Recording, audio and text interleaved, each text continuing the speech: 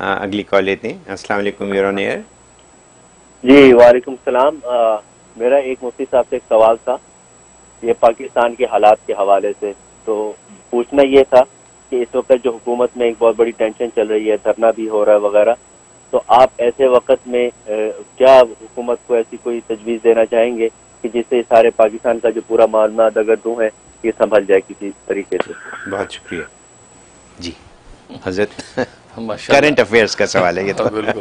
بکیا video دیکھنے سے پہلے ویڈیو کو لائک کریں رحم ٹی وی چینل کو سبسکرائب کریں اور بیل آئیکن پر کلک کریں۔ شکریہ۔ آپ نے بڑا اچھا سوال کیا ہے۔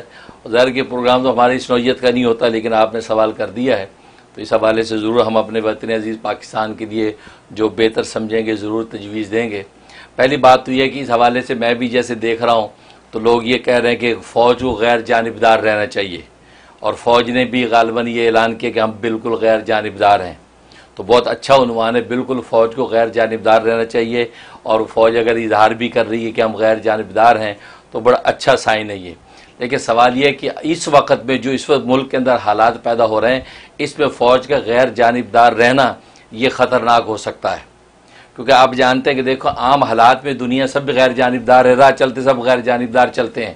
لیکن اگر دو آدمی آپ مڑ بھیڑ ہو جائے، لڑائی شروع ہو جائے، تو پھر سب انوالو ہو جاتے ہیں، کوئی چھڑاتا ہے، کوئی ہٹاتا ہے، کوئی مشورہ دیتا ہے، کوئی پیچھے کرتا ہے، کوئی آگے کرتا ہے، کوئی پولیس کو کال کرتا ہے۔ پھر کوئی غیر جانبدار نہیں رہتا۔ اس وقت ملک جو ہے، جس جگہ پہ کھڑا ہے، بہت بڑے تصادم کا اندیشہ ہے۔ لہذا اس کو ایسا اب کوئی ادارہ نہیں ہے کہ جو اس تصادم کو بچا سکے۔ نہ عدلیہ کا ادارہ ہے، اس کے پاس جو جو ہے وہ انفورس کرنے کی طاقت نہیں ہے۔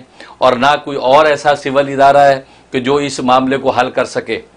اس وقت میں فوج کا غیر جانبدار رہنا میں سمجھتا ہوں خطرناک ہے۔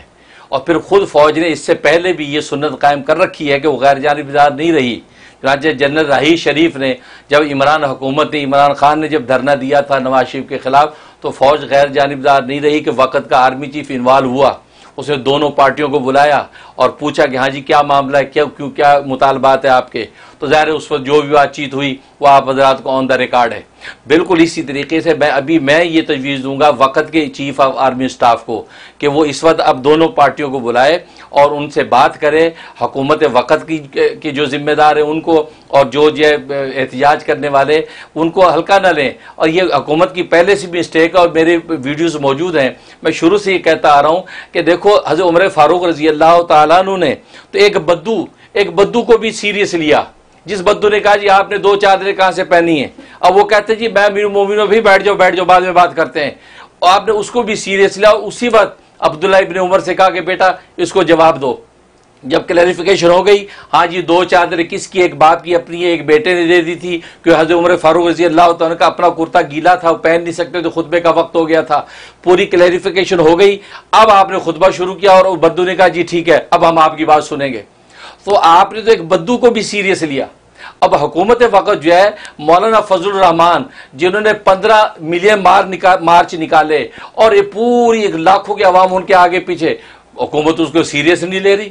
یہ حکومت کی بے وقوفی ہے کہ اسے سیریس نہیں لیا اور آج یہ نوبت ہے کہ اسلام آباد کے اندر جو لاکھوں دنیا موجود ہے اور عوامی مینٹین شو کر کے وہ اس چیز کو پیش کیا جا رہا ہے۔ اب حکومت اس لیے میں سمجھتا ہوں ابھی بھی سیریس لینا چاہیے اس مسئلے کو۔ آرمی چیف کو چاہیے کہ دونوں کو بلائے، حکومت کی، نمائندوں کو بلائے اور جو دھرنا دینے والے اپوزیشن ان کو بھی بلائے۔ اب ان کا سلوشن نکالے۔ ان کی کیا شکایات ہیں؟ ان کی شکایت کیسے حل کی جا سکتی ہیں؟ تو وہ اب آرمی چیف کو اب آگے آنا چاہیے۔ کیونکہ اس وقت ملک کی سالمیت کا مسئلہ ہے۔ اگر خدا نہ خاصا کوئی ہیپن ہو گیا، کیونکہ حکومت وقت چاہے گی کہ بھی کوئی نہ کوئی اس کو ہٹانے کی کوشش کریں اور وہ ہٹنے کو تیار نہیں ہوں گے۔ نتیجہ کیا ہو گیا کہ وہ جی جب وہ آپس میں تصادم ہوگا اور خون ریزی ہوگی۔ اس لیے میرا اس وقت مشورہ یہ ہے، ابھی فوج کو غیر جانبدار نہیں رہنا چاہیے، ابھی تو جانبدار رہنے کا ٹائم ہے۔ اس لیے آرمی چیف آپ کا پہلے بھی یہ سنت قائم کر چکا ہے، ابھی فوج کو انوالو ہو کے دونوں کی شکایات سنیں۔ اور دیکھیں، حکومت وقت جو ہے، اس کی دیکھیں، ایک سال کی چودہ مہینے کی پروگرس کیا ہے۔ دینی اعتبار سے کوئی کارنامہ ہے؟ دنیاوی اعتبار سے کوئی کارنامہ ہے؟ تو وہ فوج اس کو انالائز کرے۔ اور ان کے سامنے رکھے اپوزیشن کے سامنے، دھرنے والوں کے سامنے رکھے۔ دیکھو، یہ کارنامہ دیا جی عمران حکومت نے دکھایا۔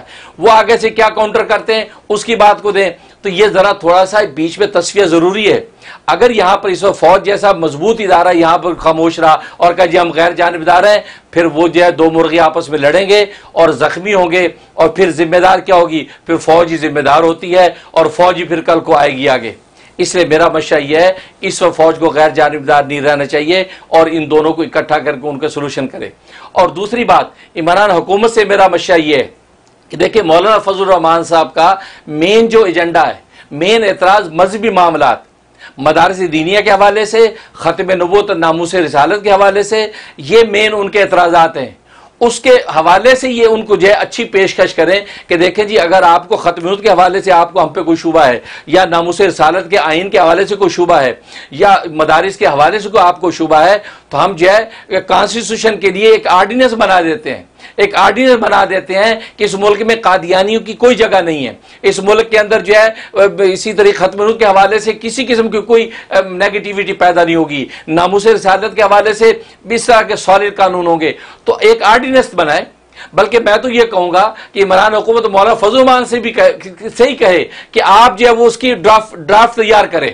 آپ نموس رسالہ خدمت کے حوالے سے آپ کو کیا تحفظات آپ ڈرافٹ کریں، اس ڈرافٹ کو ہم اینالائز کر کے، اسی ڈرافٹ کو ایک آرڈیننس بنا کے ہم ایشو کر دیتے ہیں۔ اس سے زیادہ ہم آپ کو کیا شیورٹی دے سکتے ہیں؟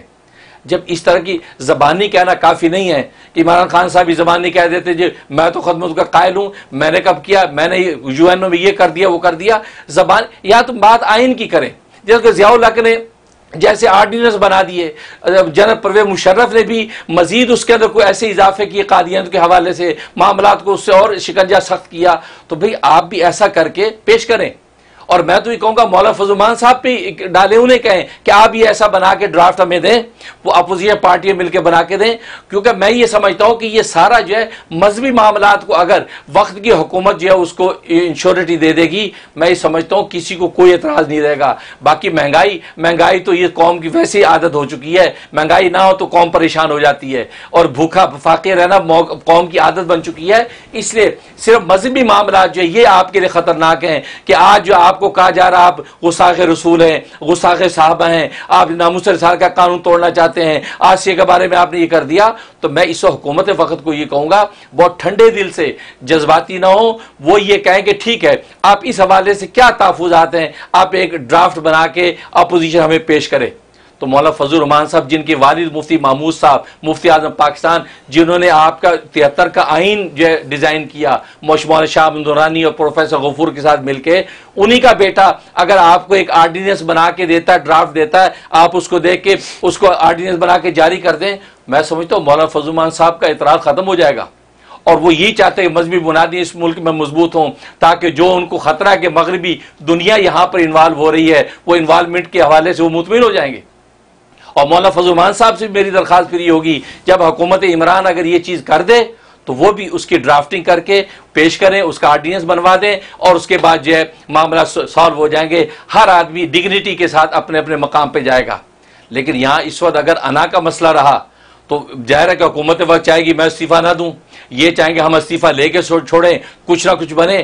اب اگر جو طاقتور ادارے اس کے اندر انوالو نہیں ہوں گے، تو پھر میں سمجھتا ہوں یہ ملک کے لیے بہت خطرناک ہے اور بہت بڑا تصادم ہو سکتا ہے۔ اور آپ نے پہلے دیکھے ہیں کہ ایسے احوال پیدا ہوئے ہیں۔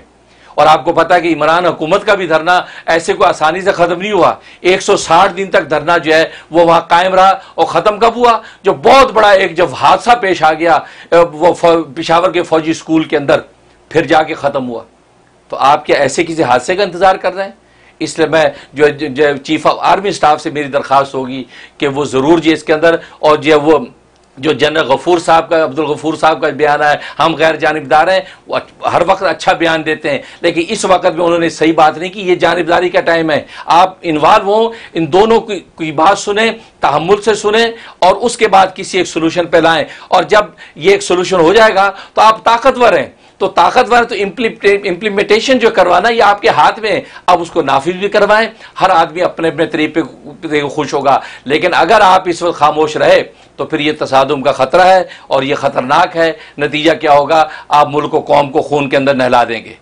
اس لیے میں اس وقت سمجھتا ہوں فوج کو غیر جانبدار نہیں رہنا چاہیے، بلکہ اس وقت دونوں طرف سے پارٹیاں بلائیں۔ اور میں نے بتایا حکومت عمران اپنے طور پہ مولانا سے رابطہ کر کے جو اس کے مذہبی جو نکات ہیں، ان کو ان کو انشور کروا دیں کہ آپ فکر نہ کریں، یہاں کوئی دیکھیں، اب کرتارپور کا معاملہ ہے۔ اب کرتار گورنمنٹ خود حرکتیں ایسی کرتی ہے جس سے وہ مشکوک ہوتی ہے۔ اب کرتارپور کے معاملے میں عمران حکومت نے یہ بات کہی تھی کہ صرف سکھوں کے لیے کھولا ہے۔ صرف سکھ آئیں گے اور جائیں گے۔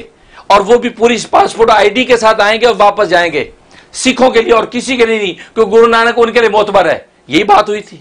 یہی عمران خان صاحب نے بعد میں بیان دے دیا جب سب لوگ راضی ہو گئے۔ بعد میں کہہ دیا، نہیں، گرو نانک تو مسلمانوں کے بھی ہیرو ہیں۔ گرو نانک تو بہت سے ہندو بھی اس کو اپنا بڑا سمجھتے ہیں۔ گرو نانک کو تو ہر مذہب والا اپنا جو بہت بڑا جب وہ سمجھ ہیرو سمجھتا ہے۔ لہٰذا سب کے لیے کھول دیں۔ لہٰذا سبھی آئیں گے سکھ بھی آئیں گے، مسلمان بھی آئیں گے، ہندو تو مسلمانوں میں سے کون سے مسلمان آئیں گے؟ قادیانی مسلمان آئیں گے نا؟ جس قادیانی کو آپ مسلمان سمجھتے ہیں، وہ مسلمان آئیں گے، اور تو کوئی نہیں، کیونکہ قادیان اور روا، یہ اس کا روٹ اس کے ساتھ سیٹ ہو رہا ہے۔ جو عام مسلمان میرے تیرے جیسا تو کوئی نہیں، گرو نانک کو ہیرو ہم سمجھتے بھائی۔ یہ کون سا مسلمان اس کو ہیرو سمجھتا ہے؟ یہی باتیں ہیں جو عمران صاحب، جو عمران خان صاحب کو مشکوک کر دیتی ہیں۔ اس لیے میری درخواست یہ ہے، ہم عمران خان کو پسند کرتے ہیں اور ہم اس چاہتے ہیں کہ شخص سے اللہ ملک کی تعمیر ترقی کا کام لے لے اور میرے پروگرامز بھی اسی پر ہیں اور میں تجویزیں بھی عمران خان کو دیتا رہا ہوں۔ لیکن افسوس ہے کہ میری تجویزوں پر کان نہیں دھرے اور آج نتیجہ آپ کے سامنے ہے کہ معاملہ کہاں جا رہا ہے۔ بہرحال اس وقت جو میری تجویز یہ ہے کہ فوج انوالو ہو کے دونوں کی بات سن کے ایک سولوشن قائم کرے اور باعزت وہ دھرنے والے اپنے گھر جائیں اور حکومت وقت ان چیزوں کو امپلیمنٹیشن کر کے اور جو ملک کو سلامتی کے ساتھ لے کے آگے چلے بہت بہت خوب بہت شکریہ۔ آپ کو بہت جوش دلا دیا سوال میں۔ لیکن آپ نے بالکل جائز بات کی اور حقیقت بہت خوب۔